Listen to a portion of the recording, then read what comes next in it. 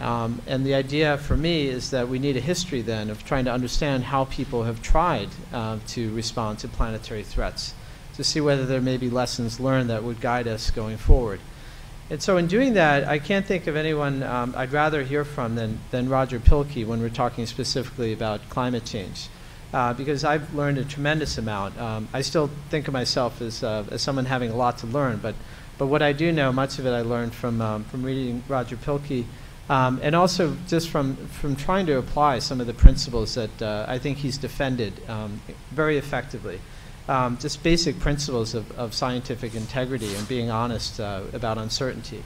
Um, he's somebody where the more you, uh, you read in his work, the more you realize that he's impossible to categorize, um, even in this incredibly polarized field. He really doesn't you know, fit in um, in ways that make some people feel uncomfortable.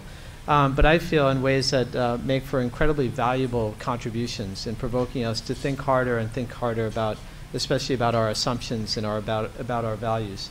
Um, so as an historian, I really appreciate uh, his values in, in this work.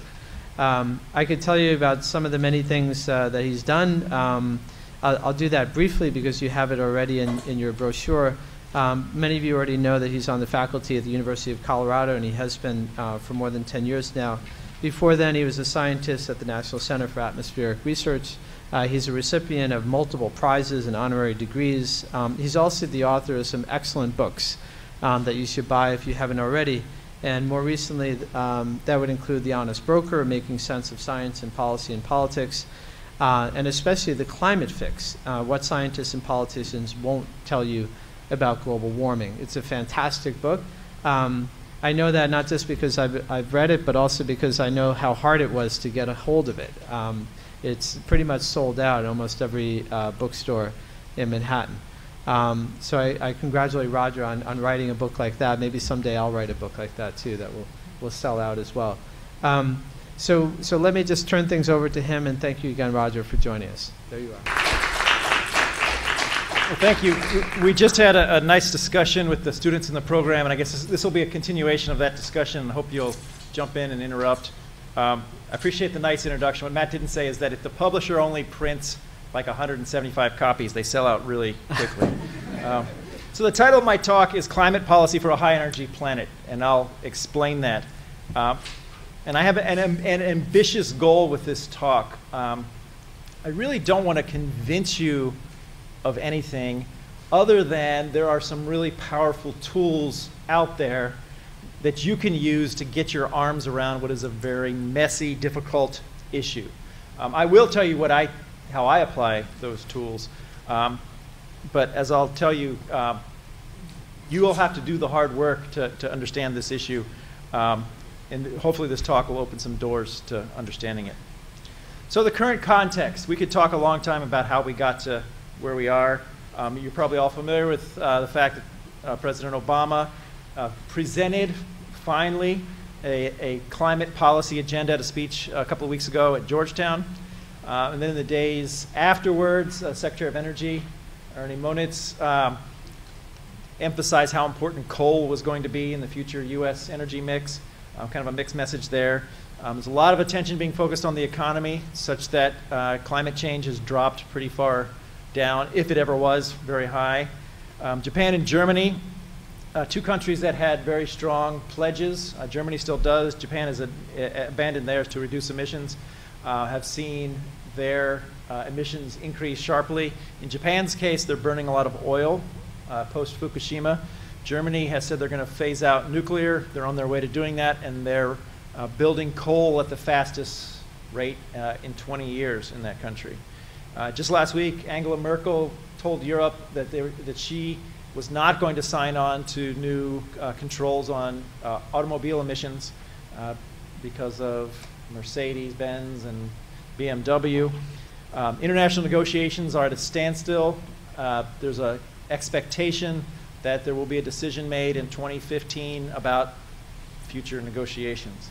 Uh, China and India, meanwhile, keep growing um, and emitting. So, how do we understand this context? And what I'm going to argue is that there's a, a, a common uh, pattern underlying pretty much the entire global geopolitics of the climate change issue. Um, to let you know where I stand, um, if you Google my name, you might find my father as a prominent scientist, but if you find me, um, you'll find people calling me names and, you know, skeptic, denier, Marxist, leftist, climate hoax believer. Um, so I thought it might be useful as I start out just to tell you where I stand on issues. Um, um, I've been studying the climate issue um, for 20 years, hard to believe, and I'm a strong advocate for both mitigation, that's related to energy policy, CO2, and adaptation, which is doing better with respect to climate variability and change. Um, there's no doubt in my mind that the continuing increase in the atmospheric concentration of carbon dioxide, in particular, could pose large risks. And I would point you to the working group one of the IPCC if you want to get a good handle on the science. Um, stabilizing concentrations, that's a term of art, a technical term, which I'll explain precisely momentarily, um, at low levels can't succeed if we underestimate the scale of the challenge. One of the first things that you learn when you go to school to learn about policy is that if you misdefine the problem, you're unlikely to come up with effective interventions. Um, action on mitigation will not result from the elimination of all scientific uncertainty.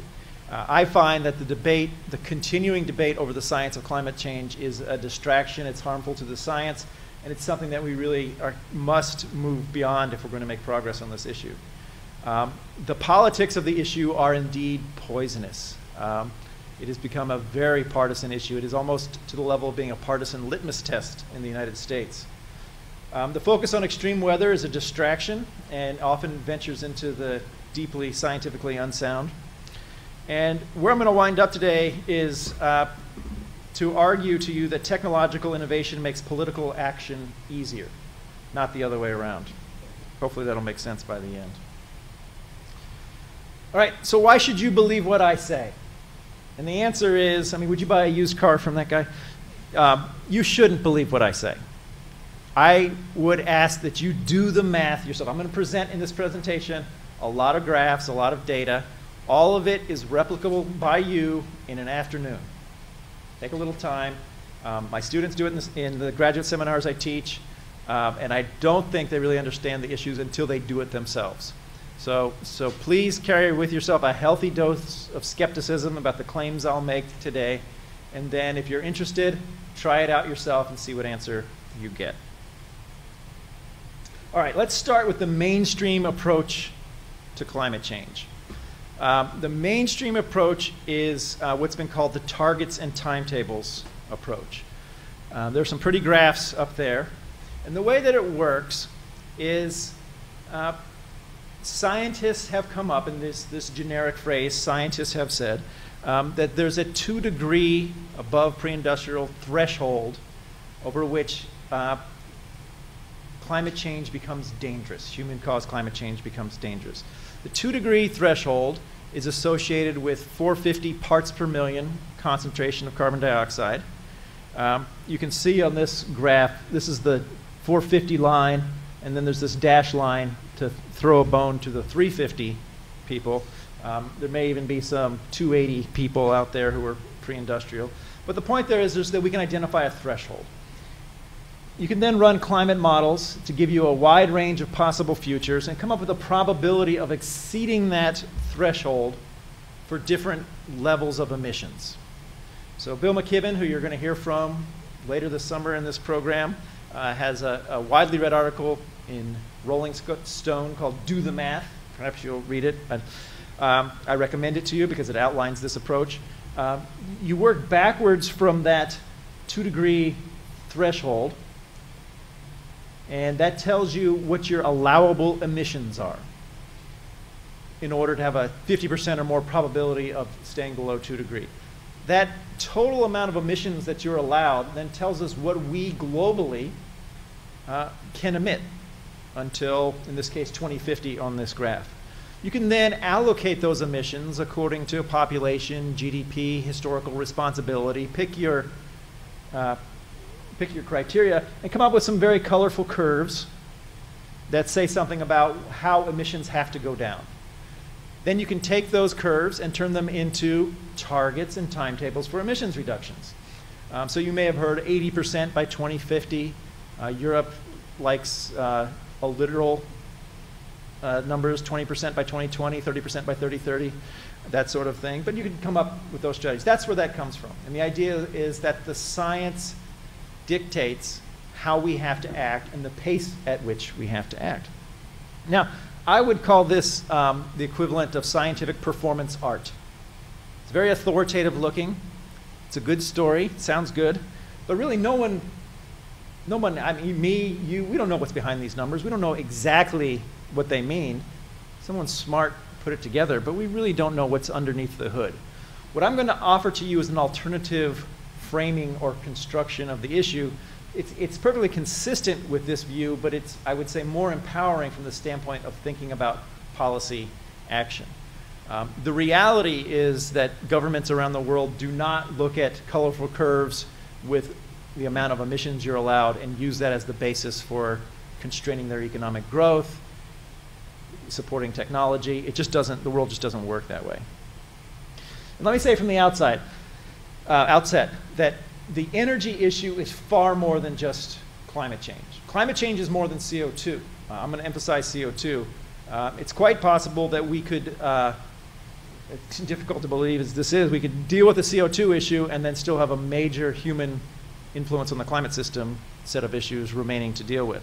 Um, but energy is obviously more than just climate change. And from the outset, I want to make it explicit that there are something like 1.5 billion people worldwide who have no access to electricity. None.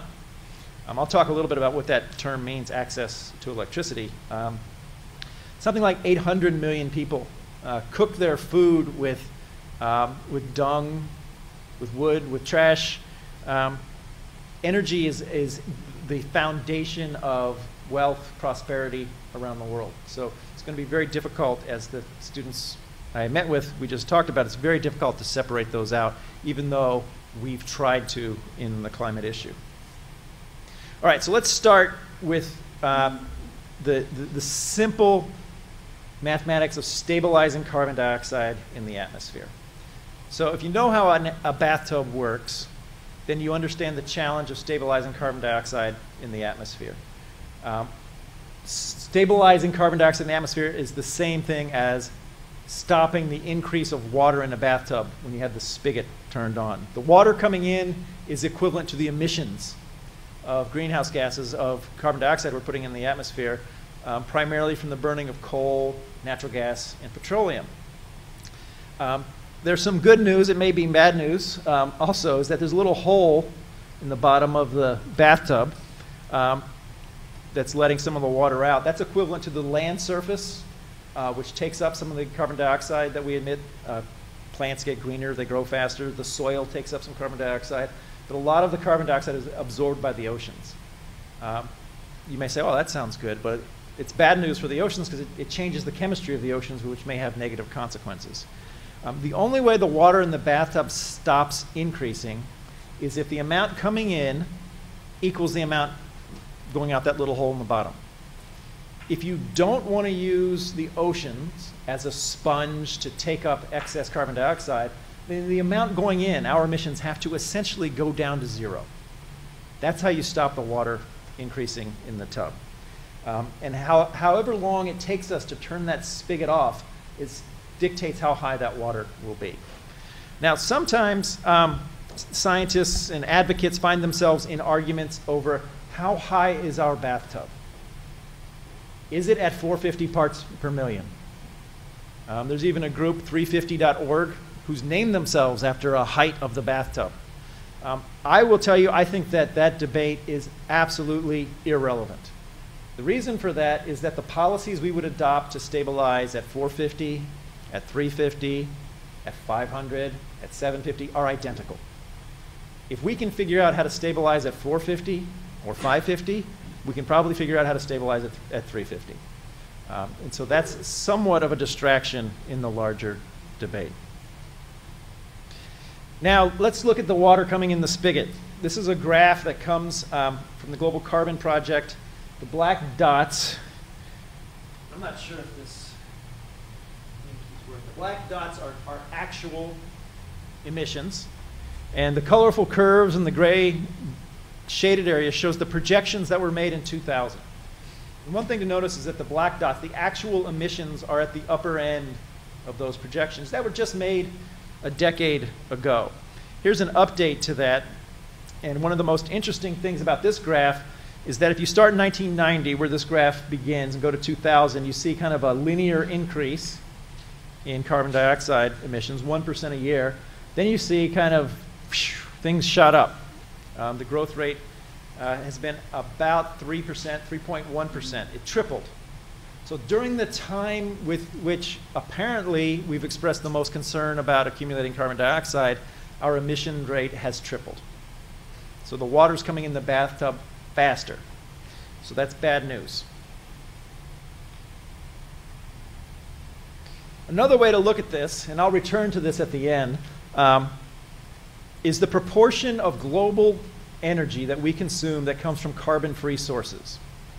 If you want to shut off that spigot, the water coming into the bathtub, then for however much energy we consume, 90% or more necessarily is going to have to come from carbon free sources. What this graph shows is the proportion of the global energy mix that comes from carbon free sources from 1965 to 2012, the last year. And it's pretty fascinating because it starts out at about 6%. Then there's this rapid increase. It doubles in, in just about two decades um, to more than 13%. Largely because nuclear power expanded by a factor of 100. That's carbon free with a big punch. And, and uh, hydropower, dams, increased by a factor of 25 over that same time period. So, much to my surprise, um, 1999 was the peak year for carbon free energy worldwide. Uh, something like 13.3%. And now we're down to about 13%. So, over the last almost 20 years, the world has not seen a growth in the proportion of energy that we get from carbon free sources. So you may have read news stories and promotional things about the rapid growth of solar and wind, and it's true. There has been rapid growth, uh, but they still make up less than 1% of the total global energy supply. I'll return to this at the end. Um,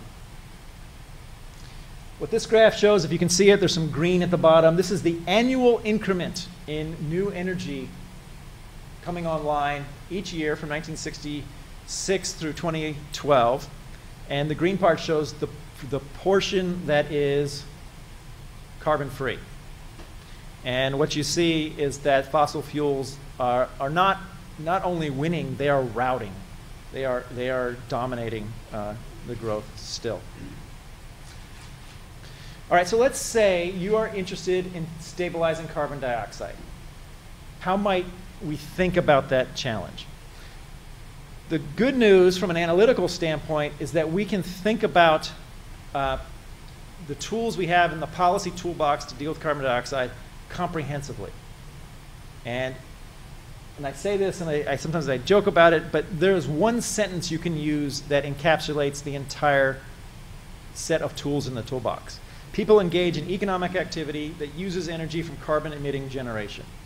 So dazzle your friends, win bets, impress your family. So we take that sentence, we turn it into variables population, GDP, economic activity per capita, energy intensity of the economy, I'll explain that in a second, and carbon intensity of energy. So it's population, GDP per capita, total energy consumed divided by GDP, uh, carbon or carbon dioxide emissions divided by total energy that we consume.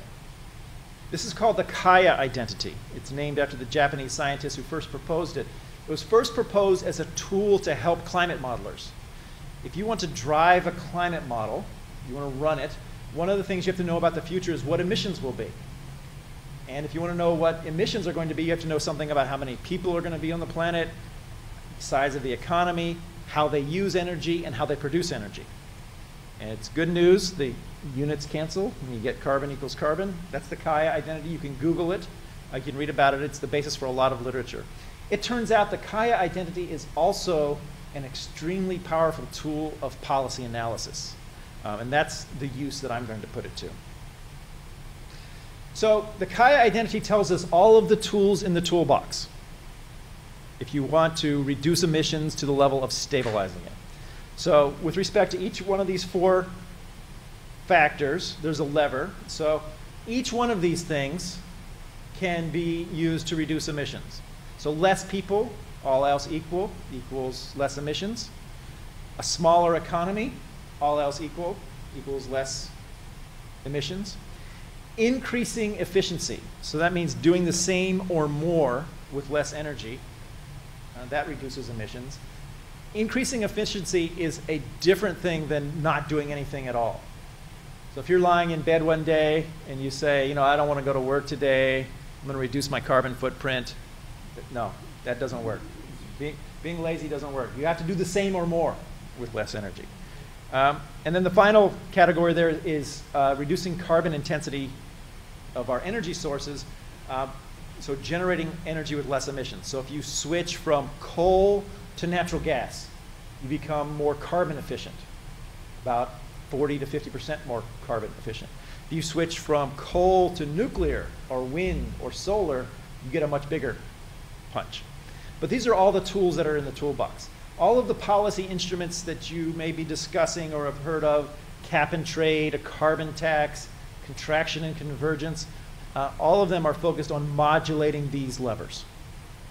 And the good news from an analytical standpoint is that there's nothing else. There's no other levers that you can use out there. This is comprehensive. Um, you may wish there was some rabbit you could pull out of a hat because the good news is also the bad news. This is all you have. So I'm going to make things a little simpler for our discussion. I'm going to combine population and per capita wealth and just call that GDP. So that's economic activity. And I'm going to combine the technologies of energy consumption with the technologies of energy production. So the technologies of consumption are PowerPoint projectors and lights and cars and airplanes. And the technologies of energy production are power plants and solar panels uh, and so on. That's technology. And so we have two factors. Emissions result from GDP times technology. Now, let me at this point introduce um, what I call in my book um, the iron law of climate policy. It's one of those things you put in a book, and then after the book comes out and people start talking about it, you realize, well, that maybe that was that, that actually grabbed people because that's probably the one concept from the climate fix that people talk the most about. And I'm going to illustrate it this way. This is a graph, that's, it's an opinion poll that was taken in the summer of 2009. It was taken right after the House of Representatives uh, voted on the cap and trade. And if you remember, the House passed the legislation, didn't get through the Senate. And at the time, uh, the, the, the pollsters asked people, the American public, would you support a generic climate bill if the annual cost per household was X? So the first number was $80 a year.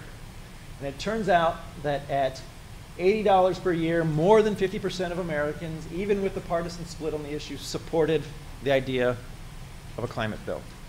When it got to 10 times that amount, this is at 770, the number of people expressing support got up to less than 10%. So this downward sloping curve between inexpensive policy having high support and expensive policy having low support, I would argue it holds everywhere. Um, maybe the numbers are a little bit different. Maybe the proportions are different. And I would say it holds in this room too. So we'll just do a little experiment. How many of you would be willing and able to pay a dollar a year to support climate policy? Raise your hands high. All right. How many of you would be willing and able to spend a million dollars a year on climate policy? I'm hoping somebody raised their hand. I'll say, come talk to me about supporting our research. Um, so that's, that's a little facetious, but you, you pick your own numbers. The reality is that this downward sloping curve is just an essential fact of policy. If there's one area where there's a global consensus across political views, across religious views, demographic, um, it's this idea that, that economic growth is important. Everyone loves economic growth. Um, so this led me to conclude um, that people around the world are willing to pay some price for climate policies. But this willingness has its limits. It has its limits in New York, in Europe, even in Boulder, where I'm from. Um, these limits mean that reducing GDP or noticeably reducing GDP growth are just not option, an option as a strategy of emissions reduction. Um, it's just not going to happen. So I, I call this a boundary condition for policy design. Climate policies must not cost too much, but even better, they should support economic growth, because that's the direction of the prevailing winds. So at the same time, people are talking about climate, there's been this wonderful success story. Or is it a success story? I put a question mark there. That the world is on track to meet the Millennium Development Goal of having the amount of people who are in poverty, which is defined according to an arbitrary threshold of a dollar or dollar twenty-five a day. But what you can see is this sharp decline. And the Brookings Institution writes, um, the new estimates of global poverty presented in this brief serve as a reminder just how powerful high growth can be in freeing people from poverty. Now, I want you to think about the idea of freeing people from poverty in the context of the Kaya identity. That's illustrated with this graph, which I think is just fascinating. Um, what it shows, this is from the UN, is one of the background papers that was prepared um, as part of the Millennium Development Goal process but it shows an estimate of global, global income distribution for three, three points in time. So the dark curve, the one on the left, that's 1970. The dashed curve, that's 2000. And then this light gray or blue, I don't know if you can see it on the right. My laser pointer's going away. Uh, that's 2015. And there's some normalized dollars, $100 on the left, 100,000 on the right, where the bell curve gets uh, to the edges. Um, but what you see is this progression from your left to your right. That's reflecting the fact the world is getting wealthier. The income distribution is moving from the left to the right. So I would ask you, what direction do you think policymakers and the public want to see this curve move going forward? I'd argue they want to see it continue moving to the right. Now, if you think it's possible that there could be organized policy to move to the left, then you're going to take issue with the iron law of climate policy. But if you think that people are going to try to become wealthier um, and improve their material standing, then you basically accept the iron law of climate policy. Some, some notes, just some, some pointers. 80% of the world lives on less than $10 per day. So that's less than $4,000 a year. That's, that's 90% of what's called the developing world. Question is, what do you think their material aspirations are? So, so 80% of the world, that's like 5.5 billion people. You think they want to live on more than $4,000 a year or less? Um, another note. Typical salary of an academic, they're not Bill Gates, but they're doing fine in this global income distribution. Um, when I present this and I go to college towns, um, there's always academics who want to say, we have too much growth. They get into their Volvo and they drive back to their nice house. Um, it's very easy to say we have too much growth when you're at the right hand side of the income curve. So I, I am going to leave behind at this point GDP as a, as a lever for reducing emissions. There's wonderful discussions we could have about income inequality, distribution of wealth around the world. I simply don't see it as a viable lever for stabilizing that water in the bathtub. So let's go back to the Kaya identity and see where that leaves us. All right, we have emissions equals GDP times technology, and I've just told you that you're not going to be able to use GDP in any meaningful way to reduce emissions. A corollary to this is that any discussion of emissions reductions without talking about GDP is incomplete because they're so closely tied together. So I'm going to use the magic of mathematics and put GDP over with emissions, isolate technology, and I'm going to argue that a reduction in this ratio of emissions to GDP is an indication, at least with respect to carbon, that we're making progress. So we want emissions to go down, and we want GDP to go up. And if that happens, that ratio goes down, that's progress with respect to technology. And so I'm going to show some numbers with respect to this ratio. And I'm going to define this reduction in that ratio as decarbonization of the economy. So decarbonization of the economy is reflected in a decrease in the ratio of carbon dioxide emissions to GDP. And 2006, which is the numbers that I used in the climate fix, and I'd be happy to talk about more recent numbers, um, the world emitted 29 gigatons of carbon dioxide, and the global economy was about $47 trillion.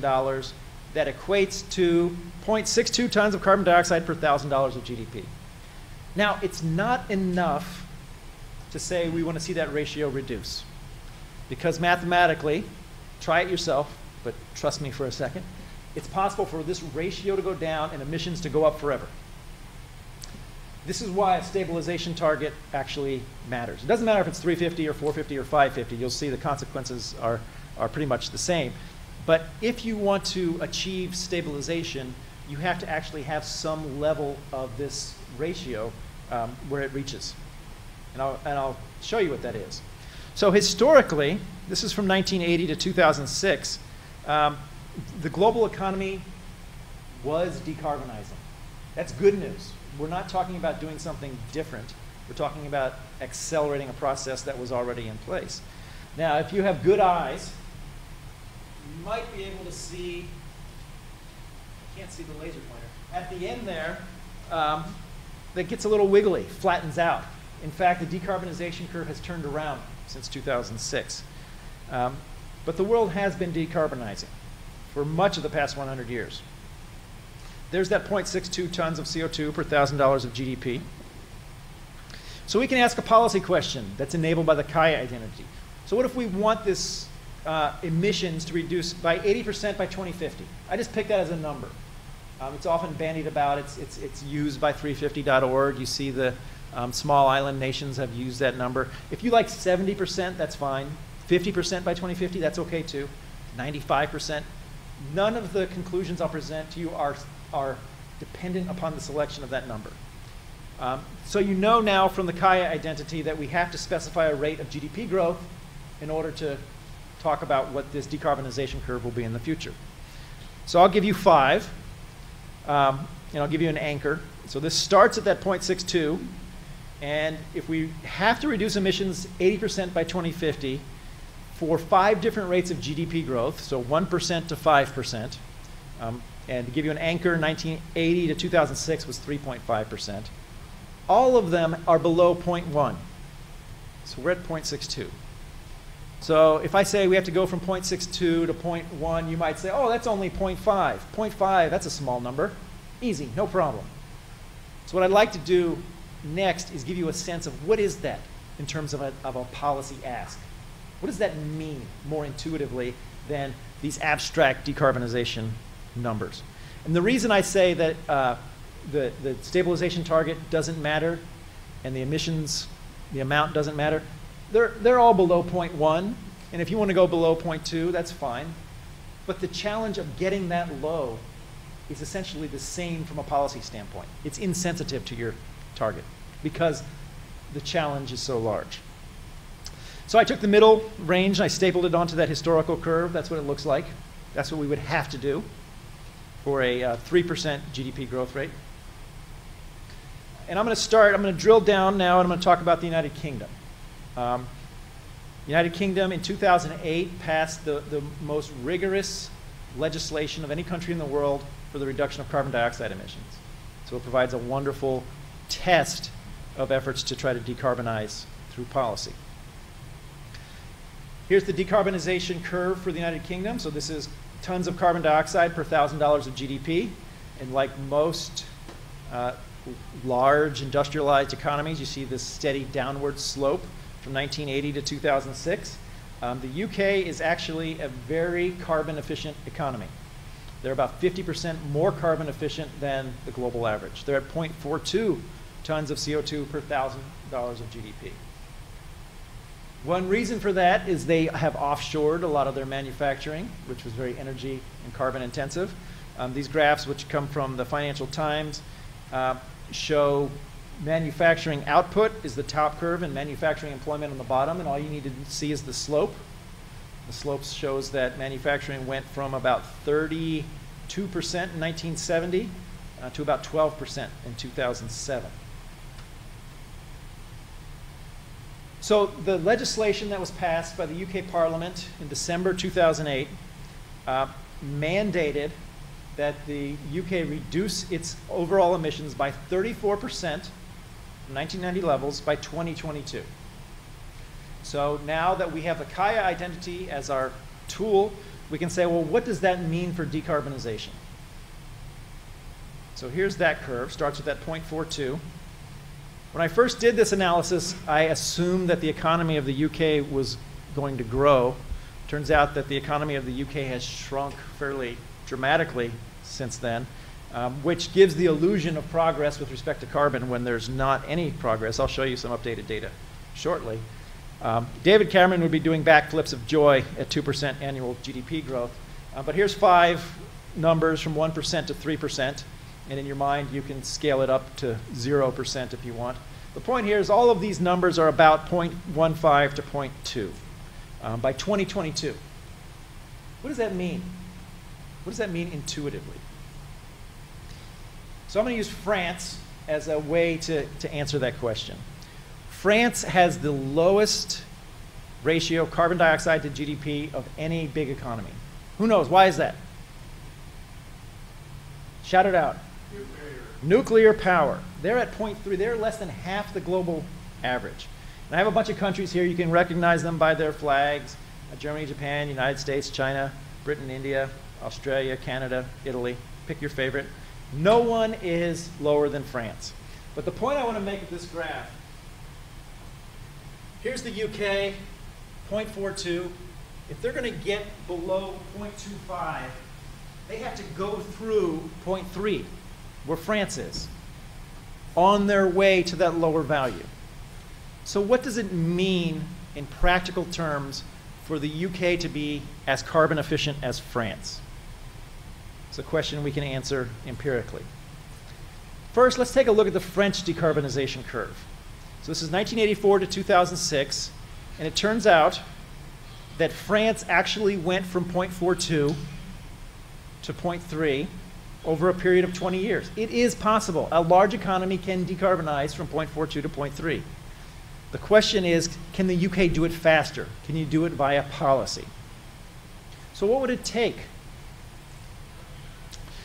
so here's those decarbonization curves implied by the UK Climate Change Act. I put this red dot, which is France, where they were in 2006. If we bring that across to where it crosses the axis and then drop it down, that tells us by when the UK would have to be as carbon efficient as France so as to be on, on path to hitting its uh, emissions reduction goals. And if you squint, I tried to make that red dot really big um, so that it hit 2015. It doesn't quite get to 2015. Um, and so I have fun with my UK colleagues, and I have this title, Can the UK Become France by 2015? But that's what's implied, to be on, on pace to hit that decarbonization target. What does that mean in terms of energy? So what I've done is I've scaled the magnitude of the challenge of being as carbon efficient as France in terms of carbon-free energy. I'm going to use nuclear power plants. This is the Dungeness B nuclear power plant on the coast of Kent in England. It's a one gigawatt nuclear power plant. Um, sometimes when I show this picture, some people see nuclear and they, their mind goes blank and they don't see anything for the rest of the talk. This is just a measuring stick. If you like solar panels or offshore wind or whatever, you can use, it's like being measured in pounds or kilograms. Just because you're measured in kilograms doesn't mean you weigh less. Um, so I'm using a nuclear power plant just to give you a sense of the scale. So the question is, how many Dungeness B nuclear power plants worth of carbon-free energy would have to be deployed by 2015 for the UK to be on pace to hit that 22 target? Here's the answer. The answer is 40 nuclear power plants worth of carbon-free energy. Now, this tells you the magnitude of the task. The United Kingdom government has something called the Climate Change Committee, which has put together a big, thick report that has taken this magnitude and spread it out all over the economy. You could put insulation in buildings. You could have electric cars. You could build onshore wind, offshore wind. Um, that doesn't make the task any easier, or small. I'd say it, make it makes it harder. But raise your hand if you think that the deployment of 40 nuclear power plants worth of carbon-free energy in the UK in the next 18 months is going to happen. Probably not. So I gave this in a talk in 2008, um, and it was a fairly public talk, big audience. Some people from the Climate Change Committee were in attendance. It was written up by the BBC, and at the time, Colin Challen, who was the chairman of the All-Party Parliamentary Climate Change Group, said this. Pielke's analysis raises questions which I do not think have been factored into the thinking behind the Climate Change Act. The task of cutting emissions is already staggeringly huge and, as we have seen, well beyond our current political capacity to deliver. Then he said something which I think gives us a little window into why it is we're not making more progress. And I'll return to this momentarily. He says Heathrow is a prime example of ducking the responsibility. It's hard to see any tough choices being made in the current climate. So hold on to that Heathrow thought for a second. Now, when this was presented publicly, uh, a, a, leading economist, Terry Barker, for the IPCC, Intergovernmental Panel on Climate Change, the big dog in the climate change issue, um, he was quoted in that same news story, and he said Professor Pielke's intervention was rejected by economist Terry Barker. Now, one of the good things about economics and emissions reductions policy is that time allows us to evaluate arguments. We don't have to do, lean on academics arguing over esoteric things. 2011, The Guardian reported this Britain will miss government carbon targets by increasingly wide margins over the next 20 years unless it introduces radical policy measures. Argues Cambridge Econometrics, a private company owned by a charity and chaired by the Cambridge University academic Terry Barker. So excellent. So we have agreement the UK is not going to hit its emissions reductions targets. So how's the UK doing since uh, it passes Climate Change Act? What this graph shows, it's a little bit complicated, but the two black bars at the bottom show rates of decarbonization, uh, the bottom is 2000 to 2008, so that's right up until when the Climate Change Act was passed. The next black bar up shows the rate of decarbonization from 2009 to 2012. So over the four years since the Climate Change Act was passed, just over 1%. The red bars show what would be implied by 1%, 2%, and 3% GDP growth. More than 3, more than 4, more than 5%. So actually, the UK has moved backwards in the four years since the Climate Change Act was passed. So my analysis is out of date. It's not 40 by 2015. It's probably more. So let me return to the Heathrow debate. Um, Heathrow Airport, how many people have been there?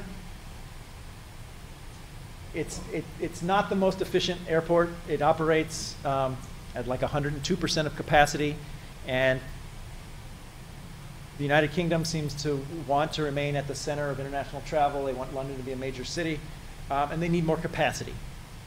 So, starting really about six years ago, and really continuing to today, there's been a debate about building a third runway at Heathrow.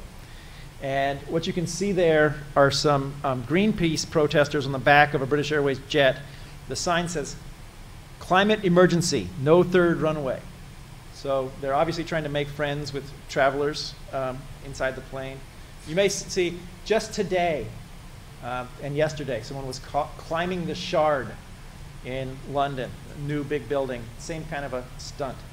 Um, and I'm going to illustrate while as, as well-meaning, I have some fun with it, but as well-meaning as these folks are and as sincere as they are, these sorts of strategies are probably not helpful. Um, to extend it to a U.S. context, um, putting a circle around the White House and holding hands to protest Keystone XL would be in the same sort of category. So here's the broader context. While they're debating a third runway at Heathrow, China is building 100 new airports, each Heathrow sized and larger, by 2020. This graph shows on the left is China's emissions in 2007. 6,511 megatons, or 6.5 gigatons of carbon dioxide. The middle bar shows where it was in 2012, and it shows the annual increment. So each one of these added bars, that's the 2008 level, 2009, 2010, 2011, 2012. Increased by 50% by 2012. Uh, for comparison, the US is at, about 5,000 or so. So China exceeds the US. What I did in the bar on the right is to show um, the entire emissions for various countries in 2012. So since 2007, China has added the emissions of the United Kingdom, South Africa, Australia, Brazil, and Germany. Right now, China is adding a UK worth of emissions about every nine or 10 months. So really, the, the, the third runway at Heathrow is where we want to put our time on environmental campaigning. It may be cathartic, but it's probably not the sort of thing that's going to affect those levers of the Kaya identity. Now, what I'm presenting is not new. Um, this is from Ken Caldeira, Marty Hoffert, and colleagues. It was in Science 10 years ago. And they wrote to achieve stabilization at a 2 degree warming, we would need to install 900 plus or minus 500 megawatts of carbon emissions free power generating capacity each day over the next 50 years. This is roughly the equivalent of a large carbon emissions free power plant becoming functional somewhere in the world every day. So, a nuclear power plant worth of carbon free energy coming online every day from now to 2050. And I'm going to make things burst in a second. Um, so, that's something like 10,000 plus or minus nuclear power plants worth of carbon free energy. That's the scale of the challenge. Now, let me return to where I started with this idea of the billions of people who lack energy access.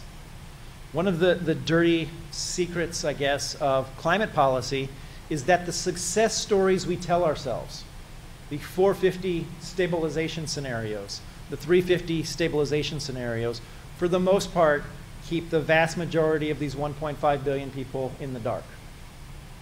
The reason for that is if you account for them having energy access at any reasonable level, it blows up your carbon budgets. We just don't know how to do that. So our integrated assessment models, our models of energy access in the future, um, have what I would call very pitiful levels of energy access. Um, and if you say energy access, maybe that makes the issue go away. So let me illustrate. What this shows um, are a number of numbers. Let's start uh, with the red bar. That's the 2010 actual per capita electricity consumption globally 3,000 kilowatt hours over a year of consumption. That's the global average, including all of those people with no energy access.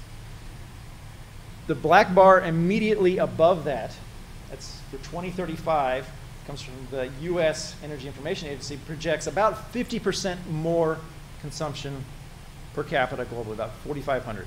That's equivalent to the next bar up. That's about the average of Bulgaria today. Now let's compare that to some other countries. So the next bar up, that's Germany. They're about 7,000 kilowatt hours. Very efficient, highly efficient country, wonderful transportation system, wonderful use of energy.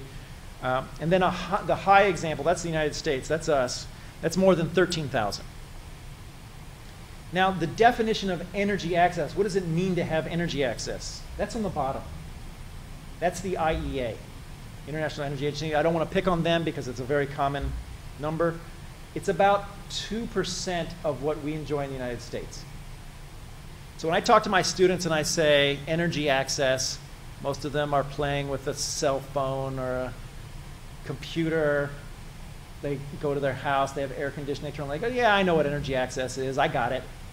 No, that's not energy access. Energy access is four hours a day of a 40 watt light bulb. That's it. To me, that seems like a very low, almost a pitiful amount. It helps us square our carbon budgets looking to the future, but it probably doesn't address issues of equity and the actual real world demands of people for true energy access around the world. So let's take a look, well, just as a thought experiment. So on the bottom, again, there's um, that EIA actual. So this is the total energy consumption 500 quads. Don't worry about what a quad is. It's about 15 nuclear power plants worth. 500 quads of energy consumption in 2010 worldwide. And you see the next, the black bar, the next one up is about 50% more by 2035. Um, it's very common. ExxonMobil has it, IEA has it, World Bank has it. And then let's, let's turn those numbers from uh, the Bulgaria equivalent, Germany equivalent, US equivalent into what that would imply in terms of global demand for energy. And all of a sudden, you have a doubling of today's energy, a tripling, or even four to five times more. So, if you would like, hypothetically speaking, the entire world to live like Germans, so very efficient, very high standard of living, then, and you want to decarbonize the economy at the same time, you don't need one nuclear power plant worth of carbon free energy every day till 2050. You need three. So think about that for a second. The magnitude of the challenge of providing energy access, true energy access around the world, is larger than the climate change challenge. Right? The climate change challenge is one nuclear power plant per day to 2050, and the energy access challenge is two to three times. So when I make the argument that energy access provides a more compelling reason globally for energy innovation, that's the numbers that are behind it. Sure, climate change motivates a lot of people in the rich world. Um, but if you have energy access at 2% of what Americans enjoy, do you think that's a motivating factor for the vast majority of people around the world? I would suggest maybe not. All right, so let's wrap up here so we can talk. So what I'm suggesting here, based on these numbers, is that we really need to change the narrative of the climate debate. Um, a lot of the debate in the wealthy parts of the world focus on statements like, we use too much energy. Fossil fuels are too cheap. We need to make them more expensive. And I would flip that around and say, actually, we need vastly more energy. Sure, we should become more efficient in its use. It'll go further. But we're not going to use less. And part of the problem is that fossil fuels are too expensive. We need cheaper, cleaner, more accessible energy, not more expensive energy. So how fast can decarbonization of the global economy actually occur? And I think the starting point for good policy analysis here is to openly admit nobody knows. We're in uncharted territory. I can tell you that right now, and for most of the past decade, the world is recarbonizing. What that means, if you go back to the Kaya identity, that the carbon intensity of energy is going up, and the energy intensity of GDP, surprisingly, is also going up. So historically, before the last decade, there's about a 1% to 2% rate of decarbonization in developed countries. Um, I had graduate students one year go through all the historical data uh, for decarbonization. Said, find the country with the fastest rate of decarbonization for five years, for 10 years, for 20 years. For five years, the fastest rate of decarbonization we could find was 4.4% per year. It was Japan when they got rid of their aluminum industry. They offshored it. Big energy hog and a GDP sink at the same time. 4.4% for the U.S. to hit 17% that uh, President Obama is committed to um, by 2020, while, so it's 17% from 2005. So while maintaining modest economic growth, 1%, 2%, requires rates of decarbonization greater than 5% per year. We're not going to hit that target. That's a prediction that I'm, I'm going to make. Um, the economic slowdown, the, the brief burst of shale replacing coal has given us some illusion that we're actually reducing emissions, and we have in the United States, but it's temporary. It's small ch change in the price of natural gas, and that's going to reverse really fast. So this is, this is the graph I showed you before. This is the proportion of global energy that comes from carbon-free sources. And what you see went from 6% in 1965 up to 13% in 1999 and pretty much has stayed there. The green arrow shows where we need to go. So forget about all this nonsense about targets and timetables for emissions reduction. It's, it's, it's a sideshow. It's, it's a, well, it's the path to insanity, number one, but it's also um, unlikely to bear fruit from a policy standpoint. The, the question we ought to be asking is how are we going to generate 90% plus of our energy from carbon-free sources at the same time we double, triple, quadruple global energy supply? I would say that puts a different spin on the magnitude of the challenge and the sort of things we ought to be doing. Rather than talking about limits and constraints on emissions reduction, we ought to be talking about the opportunity afforded by cleaner, more accessible energy. All right, so I'm going to finish up. Two more slides. So hopefully um, you've gotten the sense, and I'm happy to discuss it further, that the policy logic of targets and timetables is exactly backwards.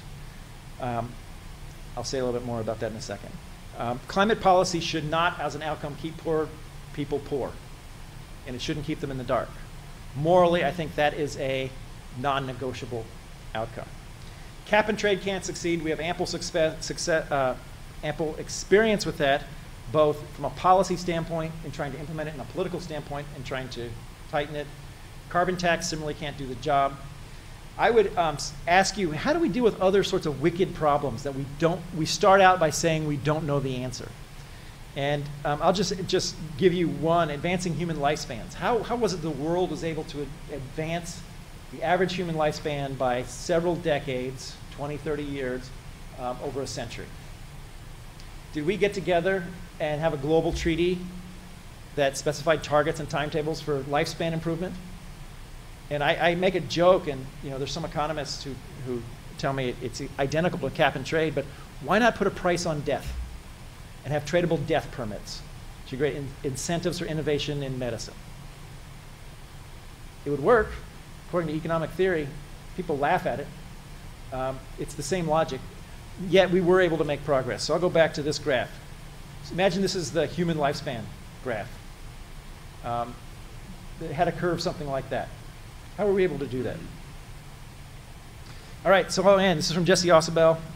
Um, this is a picture of the world at night from space, um, kind of a present picture. Maybe you can make out North America and Europe there. It's probably all you can make out.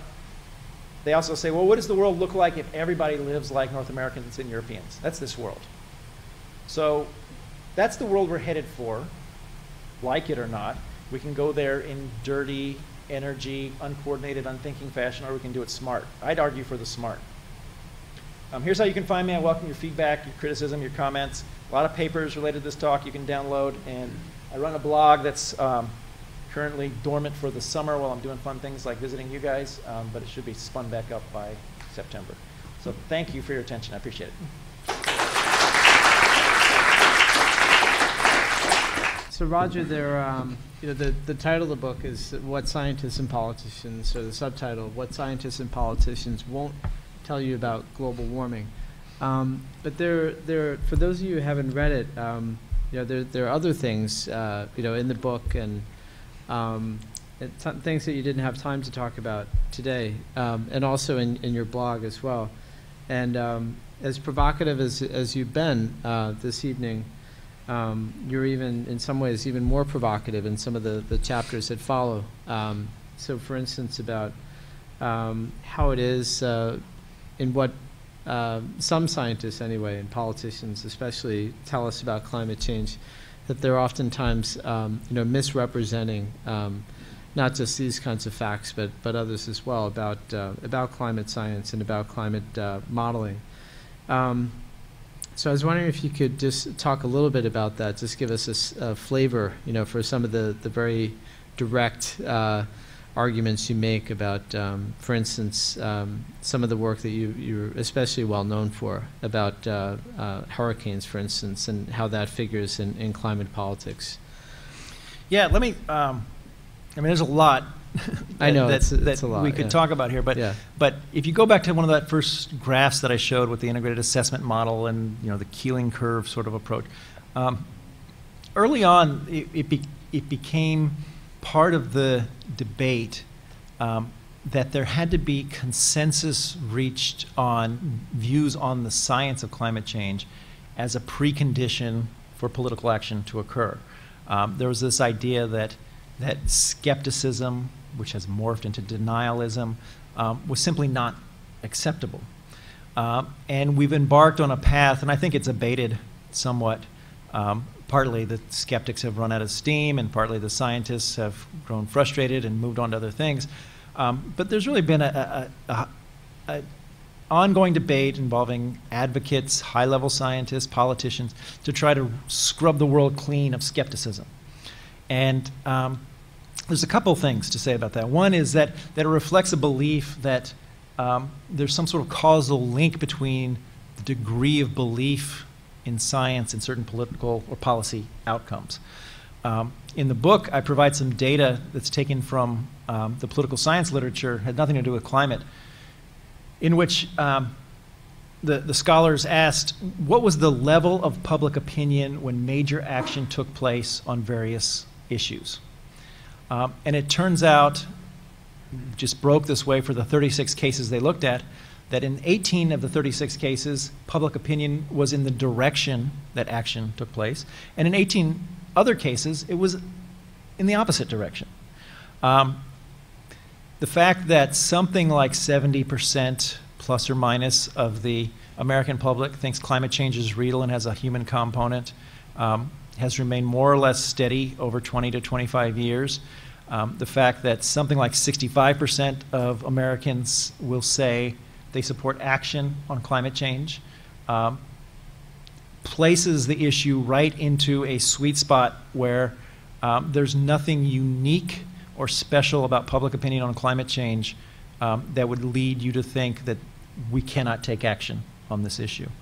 Um, what you do see is that all of the efforts to enforce or motivate a unified view of the issue have turned the issue into a political litmus test if you are a good Republican, you better be against that climate issue. If you are a good Democrat, you better be helping to get rid of the, the world of climate deniers. Um, and it's actually, it's fair to say, you know, what comes first on that issue now, the politics or the science? Um, and continued efforts to try to win that political battle over the science have just led to more polarization. Mm -hmm. Um, and I think there's a, you know, a great, it, it, the, the, it has very little effect on policy outcomes, I think as I've shown, um, because there has been very little policy effect. Um, what it does do, though, is it has served to, to politicize the scientific community. It has undercut the legitimacy that leading scientists have in political debates. If you take a look at um, polling data, over the last 15 years, um, one trend that is consistent across Republicans, Democrats, and independents, in varying degrees, of course, is uh, the belief that the scientific community exaggerates claims on climate change. Um, and that's partly a, a, reflection of the idea that this has just become a politicized issue.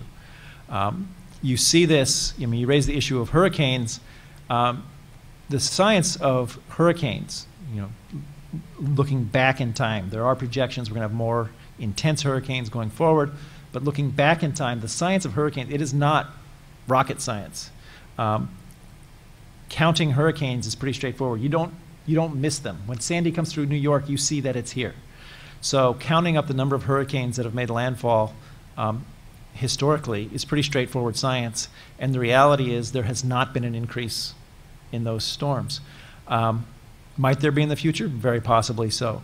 Um, in fact, right now we're in the longest stretch of no Category 3, 4, and 5 hurricanes hitting the United States um, of uh, the last 100 plus years. So when President Obama stands up at Georgetown to talk about climate change, and it's just a throwaway line, I know, and he says, uh, you know, we're having more droughts, floods, um, storms, and then it, when he did his radio address, he actually said hurricanes. And not a single climate scientist, the bloggers, the public faces, say, well, he actually got this point wrong. Not one of them says that. It's a sign to me that there's something not quite right in the scientific community. Because you can imagine, if George W. Bush stood up in 2003 and said, the world is not warming, you can imagine that the scientific community would have gone nuts to correct that error. I think the scientific community gains legitimacy by being fair-minded about equally correcting uh, you know, misstatements by public officials, even if they support the cause. So I think that the disaster issue is one. Um, there's a long story that I relate in the book, and it's gotten longer since the book was written about how the IPCC has had very difficult times with the disaster issue. They finally did get it right in 2012, um, but the scientific community um, has become wrapped up in the politics, and I think that hurts the science. And I don't think it's particularly rated, related to the policy issues associated with energy. Um, people who care about energy and discuss and debate energy actually they don't much care about climate science or what the scientists say to begin with. I think it's a much more at-home issue for the scientific community. So uh, let me um, open the floor. I see there are a few of us ready to engage. Uh, thank you for the talk. I'm wondering, uh, you talk a little bit about um, in your book about the kind of the role of scientists and how in many ways scientists kind of get in this tendency to exaggerate things or not do the things that you believe they should do. And I'm just wondering, in order to deal with this climate change issue, it seems like almost people often say that the science is already done. They're, the science is concluded. The science, we know what the science is. It's going to happen.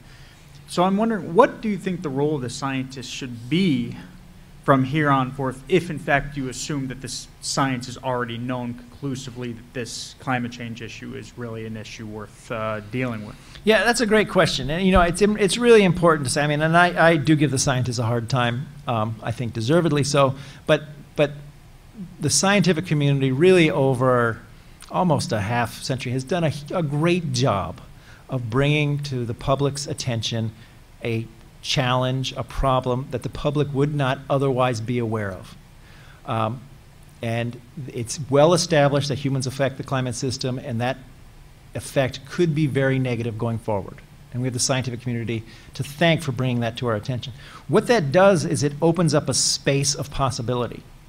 Where the scientific community got into trouble was in then trying to use the science to close down that space. It's cap and trade, it's carbon trading, no skeptics. Um, what we need help with now is in the creation of new policy options. This became really evident after the Copenhagen Climate Conference in 2009. Um, world leaders were there. Uh, Der Spiegel, the German newspaper, has a fantastic, really eye opening audio recording of the world leaders, Merkel, Sarkozy, Obama, sitting around a table actually talking to each other about this issue. Um, the long story short is that um, Copenhagen was a crash, it was a disaster. Um, and you would think when a policy fails, what we normally would do is say, What else you got? That one didn't work. Let's try something else. And because um, the climate issue had become so narrow so quickly, um, the answer was I got nothing. Let's wait until 2015 and then try it again. Um, and what I would love to see is much more attention on this is kind of inside baseball, but working group three issues. So economics issues, and even broadening it beyond climate change. So you can read my talk as an effort to try to expand the issue. Let's put energy access at the center. Try that for a while. See if that gives us more motivation for energy innovation. Um, will it work? I have no idea. Is it better than cap and trade? Yeah, I'm very convinced about that. Um, but I would love to see the scientific community in wholesale support of more perspectives, broader discussion. Um, I'll just cite another example. There's a German scientist who um, provided his taxonomy of deniers. And at one level, there are the climate science deniers. You don't believe there's a problem. The second level is the climate impact deniers. These are the people who don't believe that the impacts are severe. And at the third level are the climate policy deniers. They're against the Framework Convention on Climate Change. Now, once you equate belief in science with belief in a single policy, I think something's gone very wrong in how we deal with sticky issues with, without a lot of possibility. Thank you. Thanks. Hi. So, um, I, I, like the fact that you brought up um, energy access to the forefront. It's very important. It's one of the uh, millennial goals. So my question is more the human aspect. Um, if energy access was afforded to everyone on the planet, if it was renewable, if it was carbon free, and it could be done in a day, would there be anyone to stop it? Would it be adopted freely by a people? So here's the, the, the big challenge, is that um, it would be nice if we had the technologies at scale that were carbon-free, Mhm. that were technologically ready, economically affordable, and politically acceptable. Um, we have a technology that um, provides lots of energy, is reasonably safe, that is sharply contested, nuclear power. Right? The world could, could set on a path of saying we're going to replace every coal plant worldwide with nuclear power plant. Would it cost money? Yeah, it would cost money. Um, a lot of climate advocates would probably say it's cheaper, though, given the costs and benefits, the externalities, and so on. So, what do you do with uh, nuclear proliferation issues? What do you do with the Middle East? What do you do with nuclear waste? Um, what do you do with technology transfer? Um, we could build large dams. Africa has a lot of places where you could still build very large dams for hydropower. Um, you could build uh, solar farms that take a big footprint. Um, one of the most contested issues in Australia and in Great Britain right now is the siting of, of wind farms. People don't want them. So the energy issues, they very rapidly involve much more than just climate considerations. And at every energy technology, there's a constituency for and against. So my reading of that is that the politics are such that there isn't a global consensus on either energy access or climate change. Um, Germany is right now um, deciding they would rather have CO2 emissions than nuclear power. Is that acceptable in a democracy? I don't know. So it, it becomes really difficult really fast. Hmm. Thank you. Yeah, my, uh, my question kind of follows up on that, in that, um, you know, you alluded earlier in our like discussion to like the hungry world and stuff like that, and how, you know, these other kinds of, you know, non-grandiose things can motivate important action. But like, if the energy access problem is happening in the poorest parts of the world, like, what's the strategic concern that's going to make rich countries do something about it? Particularly when, I mean, you know, I mean, the other part of that book says that part of the solution is the strategic thing, but also the way you frame the problem. Mhm. You know, like, was global hunger actually solved? No, not really. Right, right. Um, and I mean, you know, it's like we've made a lot of advances with, you know, health and things like that, but like malaria is unsolved because it's not of interest to pharmaceutical companies. So, well, I mean, what do you see being that thing for energy access in the dark parts of the world, not Yeah. China and India? Yeah, I mean, that's a great question. And um, I have some numbers. I just wrote them down from memory. I don't don't know if they're correct. I tweeted them around from a, I was at a meeting earlier this week on energy access. Um, so take Pakistan. Pakistan has, and I think these are right, you can check me, but they're approximately correct, um, 7,000 megawatts of installed electricity capacity for 90 million people. 7,000 for 90 million. Virginia, the state of Virginia, has 40,000 megawatts for 7 million people. So I would say, do you think energy access has anything to do with the geopolitical situation that Pakistan finds itself in um, and relations between Pakistan and the United States and so on? Um, I would say that there are a lot of related issues. They may not be linear and they may not be directly causal issues, um, for which energy access plays a key role. Um, the previous questioner mentioned the Millennium Development Goals. It turns out that energy access was not a Millennium Development Goal. I wasn't involved in the process. I don't know why.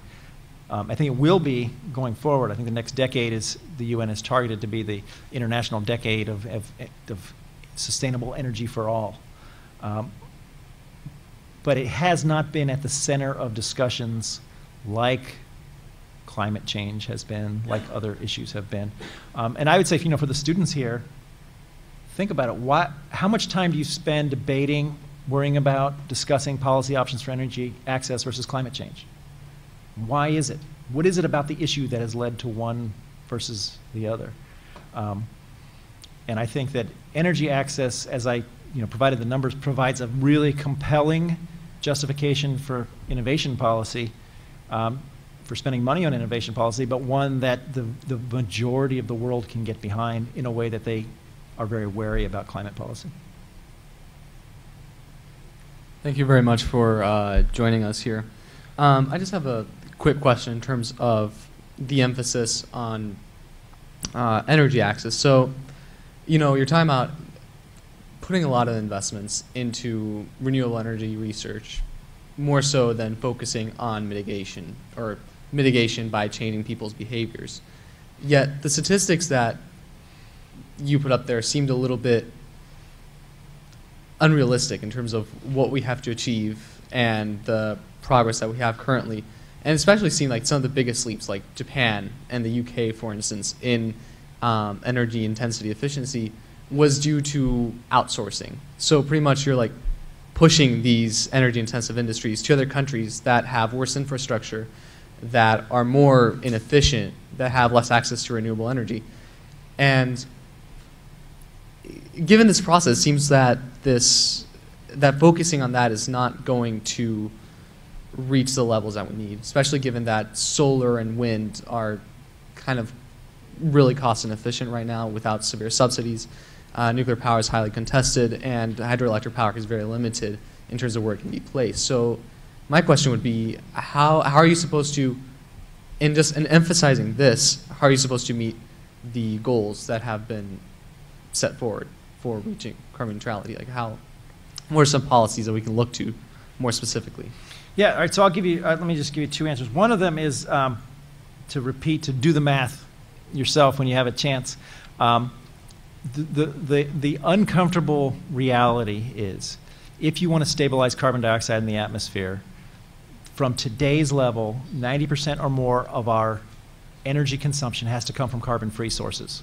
It could be coal with CCS, it could be nuclear, it could be solar, it could be wind. Pick your, it, mathematically it has to be that way. Now you might say, well, I want efficiency to play a big role, and I want to reduce the amount of energy we consume. Okay, let's say you reduce today's energy consumption, that 500 quads to 250. 50% reduction. Nobody thinks it's possible. Let's just say that we posit it. What have you done? Now only 80% of your energy has to come from carbon-free sources. So you don't really change the, the nature of the task. We have to get the vast majority of our energy consumption from carbon-free sources. Um, this is something that I think we need to have very crystal clear, is that all of the instruments that we talk about, cap and trade, carbon tax, the purpose of all of these instruments is to motivate innovation in energy systems so that we get to that 90 percent. And so the debate is really about the means to achieving this larger goal. What I'm trying to do is put that larger goal right in front of you. Because if, if we can't do that, then we will have failed.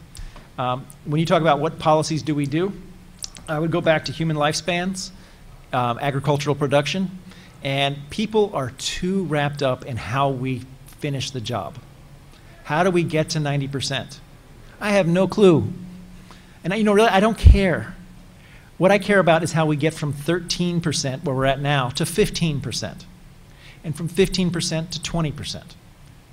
Until we make those first little steps, then it, it, it's, it's irrelevant to talk about that. And the world's going to look different when we're going from 50% to 55%. So this is the, the, the comprehensiveness and hubris associated with solving the climate crisis in one big bite is one of the factors that has kept us at 13% for 20 years. Um, how are we going to feed the world of 10 billion people who want to eat like Americans in 2050? I have no idea. And most um, agricultural experts don't either. But they know how we improve agricultural productivity and we go from a world of 7.5 billion to a world of 7.8 billion. And so I think part of effective um, policy design is a recognition of where we're just fundamentally ignorant. And just in being okay with saying, we don't know how we're going to finish the job. Um, so that's, that's what I would say about policy. Let's, let's, let's forget about the 2050. What are we going to do to 2020? And until we can move that dial on that 13%, then we're, we're just spinning our wheels. Thank you.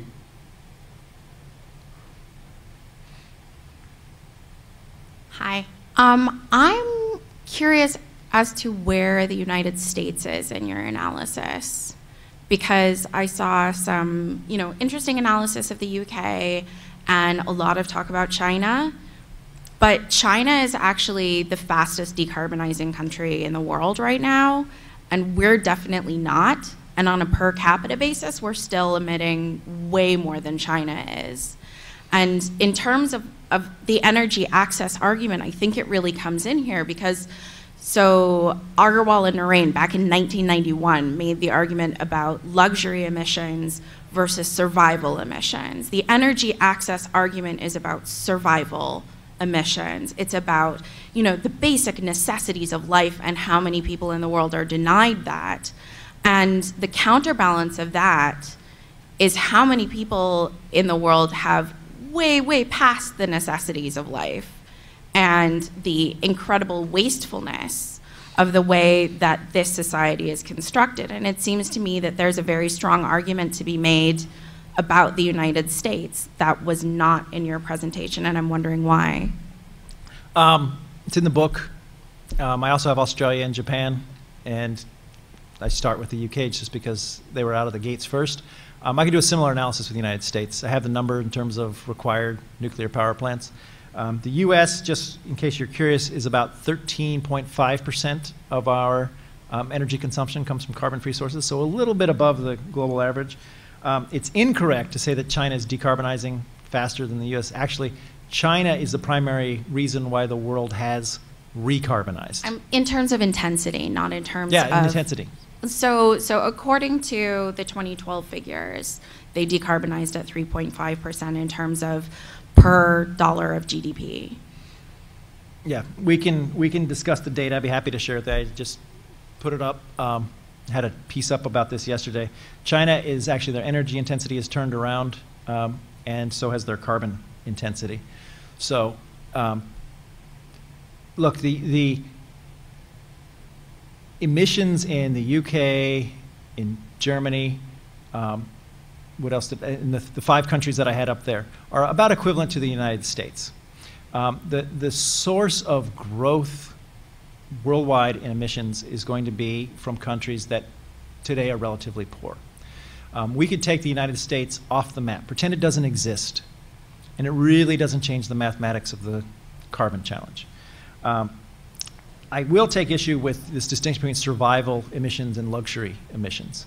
Um, you know, in kind of a, a smart aleck way, I, I, I, explained that climate campaigners would like to make um, better, higher quality poor people, but still poor people. They kick around their soccer ball that allows them to plug in the light at night. They have their four hours of light bulb, but they don't have dishwashers. They don't have washing machines. They don't have iPads. Um, I mean, we you start with the light bulb and then you get to the dishwasher and the washing machine. So, I mean, the reason that, right. that that energy access is not a millennium development goal is because they were set in 2000 and clean water was considered a far more important goal than energy access.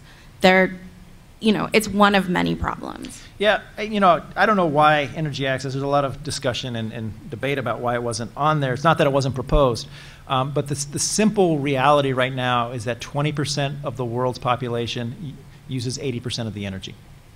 And you could say, well, let's cut them back by half, by two thirds.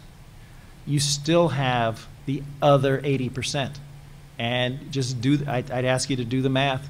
How, how high are their energy demands going to go? Are they going to go to 1,000 kilowatt hours per year, 2,000, 3,000, 4,000, to Bulgaria levels? Um, the reality is the world is going to consume massive amounts of new energy, irrespective of whether Americans or Europeans or Australians or Japanese have luxury emissions. Um, I think the idea that um, that you're going to address the emissions problem by asking some people to cut back um, fundamentally misses the nature of the problem. I'm all for more equity globally, and I'm all for talking about whether we consume too much, but I'm also for being clear that that discussion is not the same discussion as how do we stabilize carbon dioxide. Um, and I'd be happy to see you work out the math of emissions that show me differently. I think we have time for one more question. Daniel.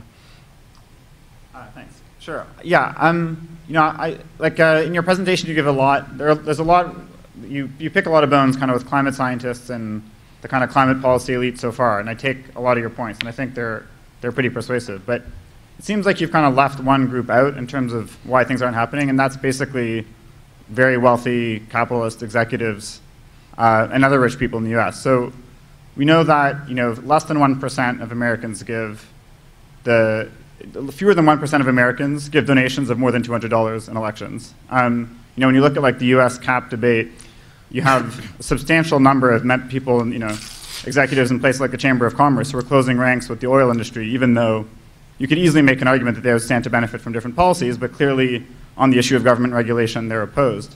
Uh, and you point out correctly that there's more than enough public opinion support for climate policy, but we also know that the, um, if you look at the relationship between public opinion and policies that are passed, uh, Larry Bartels at Princeton did this work, you know, that overwhelmingly it's the, the opinion of the top third of income and even higher, which relates to policy, and there's like a 0% correlation between the bottom third uh, and policies that are passed.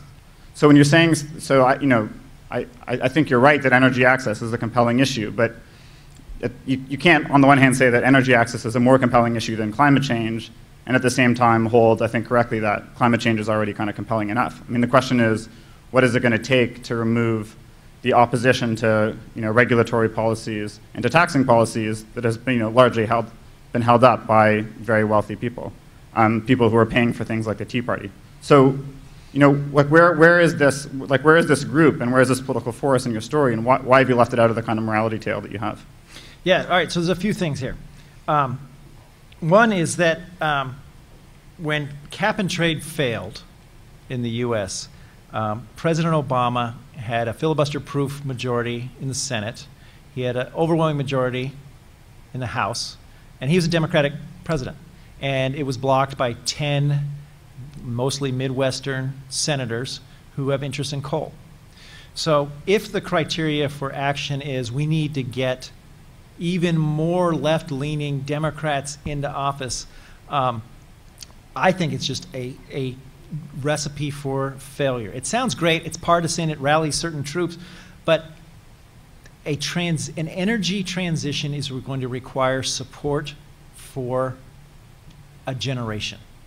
Um, there has never been a time when the presidency, the Senate, and the House was controlled by a single wing of a single party for anything approaching that amount of time. Right, but the, but the, argument that I'm making is that people, or that people like Theda Skocpol have made, is that you, you have basically moderate Republicans who can't make the kind of votes that I, am sure you would uh, suggest that they would make because of pressure from funders and from grassroots groups that are financed by you know there's, there's the two ways to look at that and there's one thing that you can one way to look at that is to say there's something inherently wrong with this political party this group with their view and we have to either change their, their views or get them out of office there's another way to look at it and to say, I need to design a policy architecture that appeals broadly to people of differing political perspectives.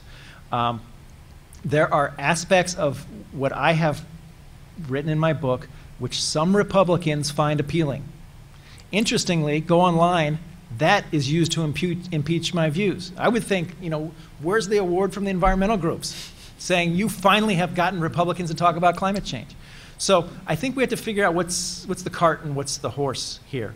Um, I would say, you know, I, I don't, I, am of the view, and I will apologize for this, I'm not of the view that um, rich industrialists and oil companies that are in association with the Tea Party in the United States matter all that much on this issue. If you look at the global energy economy, it is state owned companies um, in the Middle East, in China, that are completely dominating the global energy uh, infrastructure. If you change the composition of the U.S. Congress, you vote in Joe Romm as president, pick your. Pick I, your I wouldn't person. vote for him. I, I might vote for him. It would be fun. Um, you, you, you pick your, your composition and then say, well, does that change things globally? You know, I think we give ourselves too much credit in our ability to fight our interscene partisan battles. Um, let me just say, I, and just to correct one thing, I don't see energy access as a trade-off with climate change. What I am trying to present, to be very clear, is if we do the energy access thing right, then climate gets to piggyback on back of, on the back of it. I can think of if I am going to go, you say, I'm going to pick human being X at random on planet Earth, you need to make an argument to them for why we need energy innovation. Given the distribution and equity around the world, um, yeah, if they're from Boulder, where I live, maybe climate change is what I lead with. But in general, it's probably we're going to need a lot more energy, and we don't know how to get there.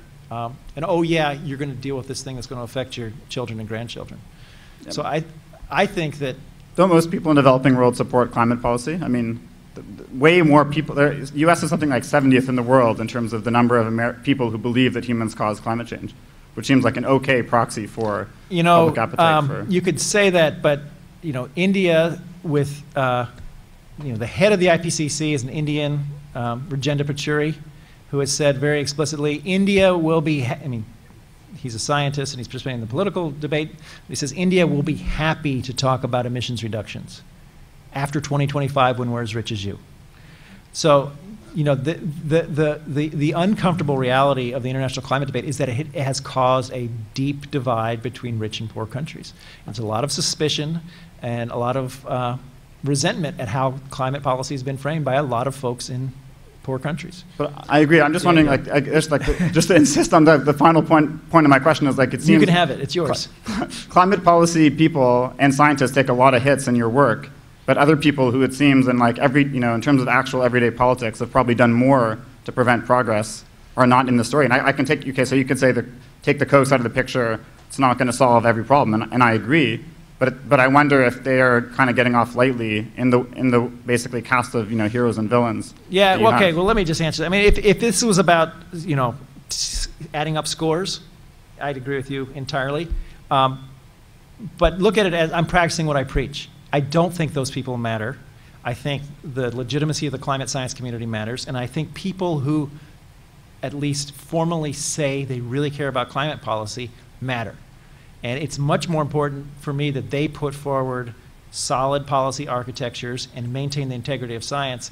And you know, to be honest, I do not care what the Heritage Institute does. I don't. They can do. They can put up billboards. They can, you know, I do not care because I think they are largely irrelevant. So, yeah, if you want me to say mean things about them, let's go to dinner, we'll have a few drinks, and I'll let loose. But in terms of the policy debate, they they're a nothing burger. I mean, it's that's how I feel. Okay, All right. thanks. Okay, thank you. Thank you so much, Roger. All right, so, uh, so please come back uh, next week, um, and uh, the rest of the summer, we're going to have uh, a a number of other lectures uh, in the weeks ahead, and I hope you'll come back and join us then as well. But tonight, thank you again, Roger Pielke. Thank you. Thank you, guys.